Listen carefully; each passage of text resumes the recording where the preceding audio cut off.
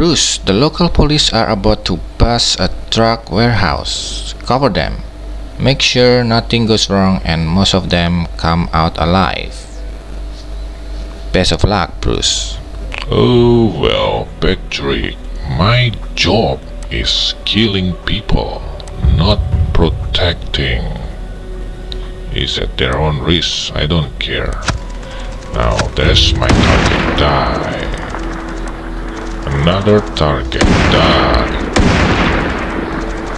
Die. Damn, I miss again. Shit. Now I got you. Oops. No more cops safe?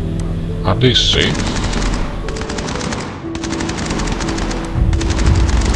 Last one. Die, bitch. Rest in peace for the two cops that died in there. Sorry, couldn't protect you guys.